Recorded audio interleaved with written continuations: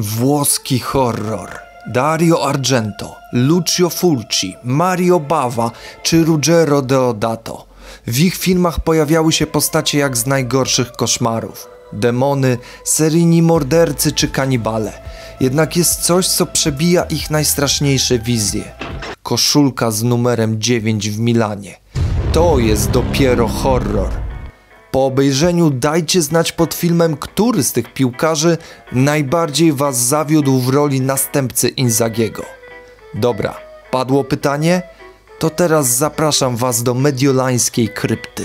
Horror rozpoczął się w dniu, w którym z Milanem i piłką nożną oficjalnie postanowił pożegnać się jeden z największych snajperów w historii Rossonerich, czyli Pippo Inzaghi. Człowiek, o którym mówiło się, że urodził się na spalonym. Dziewiątka widniała właśnie na jego plecach. Dziewiątka, która jeszcze wtedy była koszmarem dla rywali, a nie tych, którzy wkrótce mieli ją nosić w Milanie. 13 maja 2012 roku. Czy powiedziałem 13? To już zwiastowało problemy. Tego dnia Milan grał u siebie z Nowarą. Był to ostatni mecz Inzagiego w barwach giganta z Mediolanu. W 67 minucie Pippo wszedł na boisko za Casano i zrobił to, co potrafi robić najlepiej, czyli strzelił gola. Tylko spójrzcie, co się wtedy działo. Zebrani na stadionie kibice jeszcze nie wiedzą, że za kilka minut pożegnają króla, którego numer zostanie przeklęty na długie lata.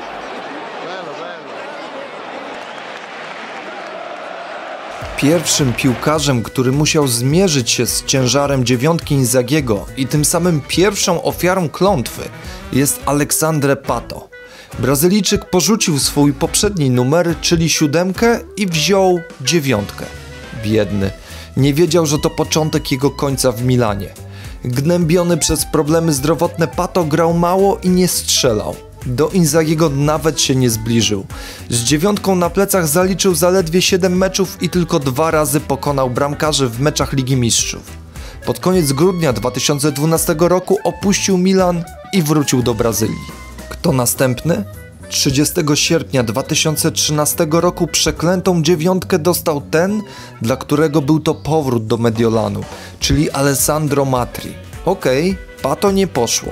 Teraz dziewiątka trafiła w ręce rodowitego Włocha. Porównania do Inzagiego nasuwały się same. Skończyło się jednak jeszcze większą klapą.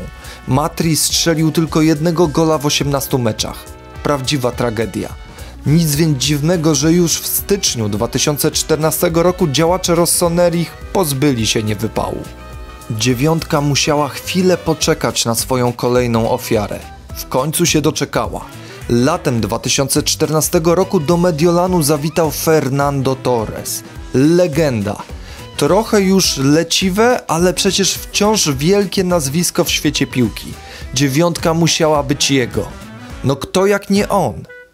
Dziewiątka wyssała z Torresa jego całą moc. Pożarła go. 10 meczów i podobnie jak Matri, zaledwie jeden gol. Kompromitacja. W styczniu 2015 Torres pożegnał się z Mediolanem. W tym samym miesiącu dziewiątkę dostał wypożyczony z Romy Mattia Destro. Też nie dał rady. 15 meczów i 3 gole. Pół roku i do widzenia. Jak się okazało, klątwa dopiero się rozkręcała. Latem 2015 roku do Mediolanu zawitał kolejny odważny Luis Adriano. To on miał być lekiem na ofensywne problemy Milanu. Uśmiechnięty Brazylijczyk pozował z koszulką nowego klubu i nawet nie zdawał sobie sprawy, jak źle to wszystko się skończy. Z dziewiątką na plecach rozegrał aż 29 meczów i strzelił w nich tylko 6 goli. Nie tego od niego oczekiwano. Przed sezonem 2016-2017 stracił dziewiątkę na rzecz odkrycia Serie B Gianluki Lapaduli. Kolejny Włoch po Matrim, który próbował udźwignąć ciężar numeru Pippo. Też zawiódł. Chociaż wykręcił lepszy wynik od Adriano. W 29 meczach strzelił 8 goli. Kolejne lato, tym razem 2017 roku i kolejna ofiara – do Mediolanu trafił kocur. Taki kocur, co to kosztował prawie 40 milionów euro i miał być postrachem rywali. Zwał się Andre Silva. Pewnie domyślacie się, co się dalej stało. Dziewiątka znalazła nowego żywiciela. Silva stał się postrachem, ale tylko dwóch ekip. Macedońskiej Szkendii i Austrii Wiedeń. Jego bilans z dziewiątką na plecach? 10 zapakowanych bramek w 40 meczach. Niektórzy powiedzą, że może nie brzmi to źle, ale gdy człowiek przypomni sobie za ile Milan go kupił, to aż się słabo robi. Szczególnie, że tylko dwie z tych bramek padły w Serie A. Skoro klątwy z koszulki z numerem 9 nie ściągną nawet kocur za gruby hajs, to komu może się ta sztuka udać? No jak to komu? Gościowi, który w Serie A nas strzelał jak z karabinu. Pipita i Guain. Kibice Milanu odetchnęli z ulgą. Jemu musiało się udać. Sorry, ale nie. W tej historii nie ma happy endu. To nie jest jakiś hollywoodzki film o miłości, tylko włoski horror. Tutaj napastnicy naprawdę nie strzelają. Doświadczony Higuain dostał dziewiątkę i za nie mógł. I to w lidze, w której wydawało się, że nie potrafi nie wymiatać.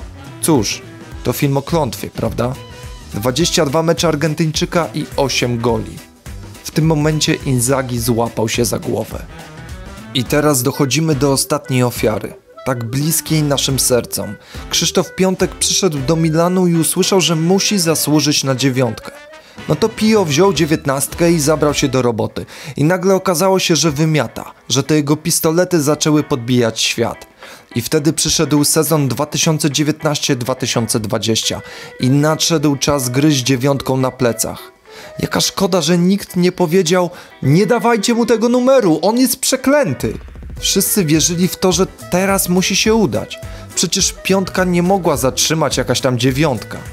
Niestety zatrzymała. 20 meczów i tylko 5 goli. Pio grzecznie podziękował, spakował się i wylądował w Bundeslidze. A co z koszulką z numerem 9? Gdzieś pewnie sobie teraz wisi i ślini się na samą myśl o kolejnym napastniku. No a teraz skrypty wychodzą niepełnoletni widzowie, bo mam info o wyjątkowej promocji. Dotyczy ona jednak wszystkich tych, którzy przekroczyli już 18 rok życia i nie straszna im bukmacherka. W przypiętym komentarzu czeka na Was zakład bez ryzyka od Betfan. Możecie obstawić kupon, jeśli Wam nie wejdzie, to otrzymacie zwrot stawki. Możecie sobie obstawić, no na przykład niedzielne derby Mediolanu. Szczegóły znajdziecie w linku w przypiętym komentarzu pod filmem, tam na dole. Wydaje mi się, że teraz to już chyba przekazałem wszystko, więc nie pozostaje mi nic innego jak głośno powiedzieć do widzenia i do zobaczenia.